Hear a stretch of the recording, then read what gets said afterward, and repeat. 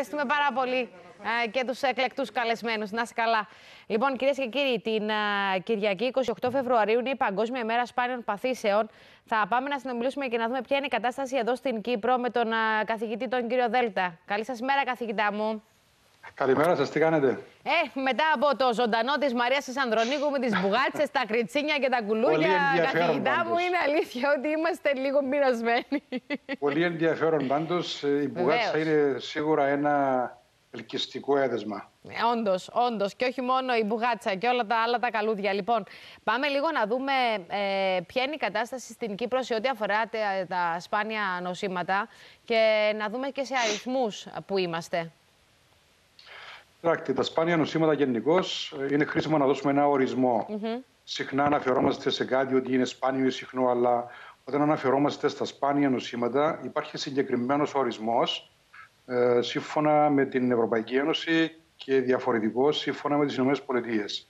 Στην Ευρωπαϊκή Ένωση σπάνιο θεωρείται ένα νόσημα το οποίο επηρεάζει λιγότερο από ένα στις 2.000 συμπολίτες μας. Mm -hmm. Λιγότερους από ένα στις 2.000. Μάλιστα. Ε, τώρα, ε, σε ό,τι αφορά την Κύπρο, διάβαζα σήμερα ότι είμαστε γύρω στις 60.000... Από 200.000 ναι. Αφρικανούς.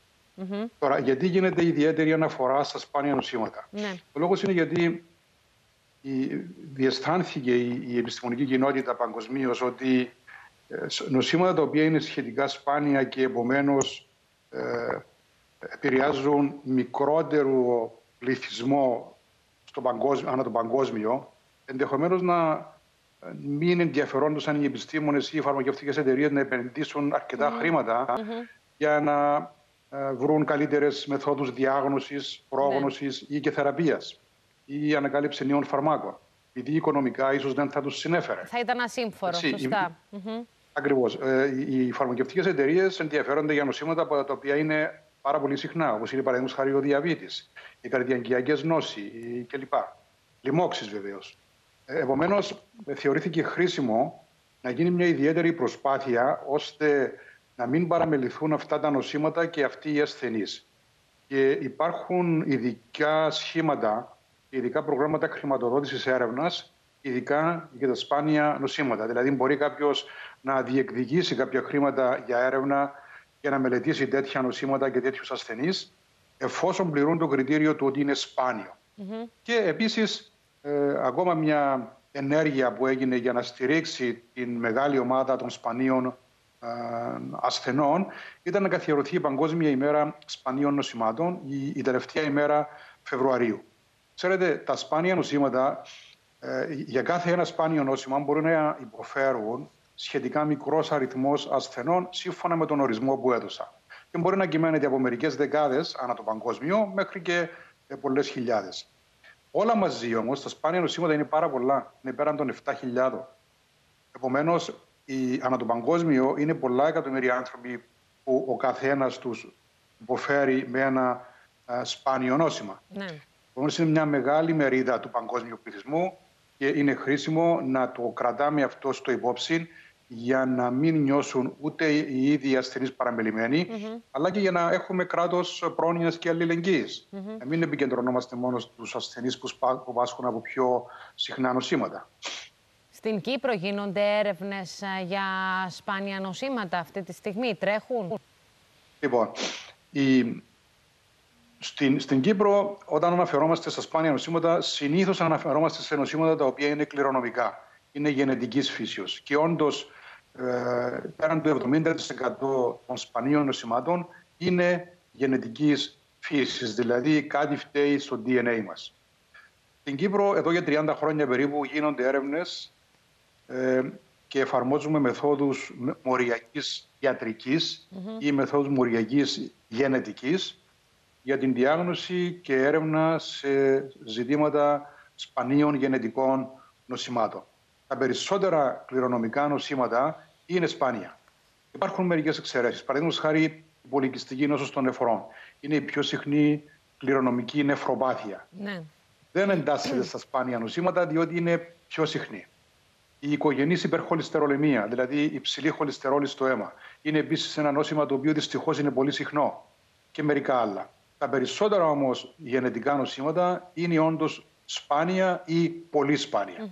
Και υπάρχουν για το κάθε ένα από αυτά πάρα, πάρα πολλές ιδιαιτερότητες ανάλογα με τη χώρα, τον πληθυσμό, την εθνική ομάδα, την γεωγραφική κατανομή κλπ. κλπ.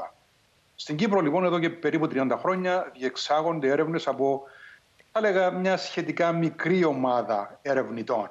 Η, ομάδα των ερευνητών στην Κύπρο, οι ομάδες των ερευνητών στην Κύπρο που ασχολούνται με γενετικά νοσήματα είναι σχετικά μικρές. Είναι βασικά μερικές ομάδες στο Ινστιτούτο Νευρολογίας και Γενετικής και μερικές ομάδες στο Πανεπιστήμιο Κύπρου και ίσως μια-δυο ε, σε, σε, μερικά άλλα πανεπιστήμια. Mm-hmm.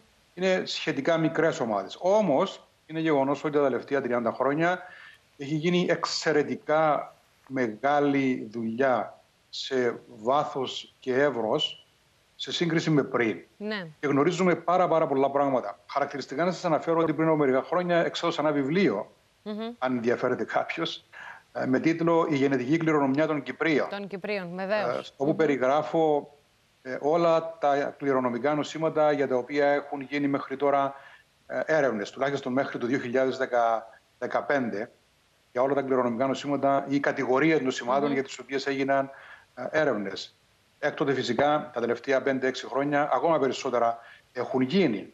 Είναι, είναι γεγονός λοιπόν ότι σε αυτόν τον τομέα βρισκόμαστε σε πολύ καλό στάδιο. Προσφέρουμε μοριακές διαγνώσεις ναι. Ε, προς εξυπηρέτηση των γιατρών και βεβαίω των ασθενών τους. Πάμε καλά, αλλά θα έλεγα ότι αυτό το πάμε καλά δεν, δεν είναι αρκετό. Χρειάζεται ακόμα περισσότερη χρηματοδότηση ερευνητικών προγραμμάτων, ερευνητικών έργων, για να επεκταθούμε σε πολλά πράγματα ακόμα για να βελτιωθεί ακόμα περισσότερο η έγκαιρη διάγνωση. Αυτό είναι ναι. εξαιρετικά σημαντικό. Ξέρετε, όπως συμβαίνει και με κάθε άλλο νόσημα, η έγκαιρη και η ορθή διάγνωση είναι το Α και το Ω για να δοθεί και η ορθή θεραπεία ή για να αποφευθεί μια τοξική, επικίνδυνη θεραπεία. Άρα και εδώ χρειάζεται ακόμα να γίνουν πολλά ε, και χαίρομαι να σας πω ότι με τη νέα εξέλιξη του τελευταίου έτους, με τη δημιουργία ή μάλλον ανάπτυξη καλύτερα, ε, ε, ενίσχυση της βιοτράπεζας στο Πανεπιστήμιο Κύπρου, είναι μια νέα προσπάθεια που ενισχύει την προσπάθεια για περισσότερες έρευνες στον τομέα αυτό. Μάλιστα. Λοιπόν, καθηγητά μου, θα έχουμε την ευκαιρία να πούμε περισσότερα για αυτό το ερευνητικό πρόγραμμα της Βιοτράπεζας πολύ σύντομα. Θέλω να σας ευχαριστήσω στο, στο σημείο αυτό. Να είστε καλά, καλή συνέχεια να σας Επιτρέπετε να κάνω μια ανακοίνωση ξανά Παρακαλώ, για την παρακαλώ, παρακαλώ, βεβαίως. Ευχαριστώ πολύ. Θέλω να χρησιμοποιήσω, να αξιοποιήσω το βήμα που μου δίνετε για να πω ότι εξακολουθούμε να ενδιαφερόμαστε για άτομα τα οποία ασθένησαν με COVID. Mm Ήταν δηλαδή θετικά στον κορονοϊό. Ναι μπορούν να επικοινωνήσουν με την Βιοτράπεζα του Πανεπιστημίου Κύπρου στο 2289 2815 89 ή να επικοινωνήσουν με την ιστοσελίδα biobank.cy biobank.cy και να εκφράσουν ενδιαφέρον για να συμμετάσχουν σε αυτό το μεγάλο ερευνητικό πρόγραμμα που μας ενδιαφέρουν άτομα που είχαν νοσήσει με COVID-19 στα οποία προσφέρουμε δωρεάν ανάλυση αντισωμάτων και βεβαίω φυλάμε υλικό για περαιτέρω γενετικές έρευνες. Καθηγητά μου, σας ευχαριστώ. ευχαριστώ. Να είστε καλά. Καλό Σαββατοκύριακο να σας ευχηθώ. Λοιπόν, κυρίες και κύριοι.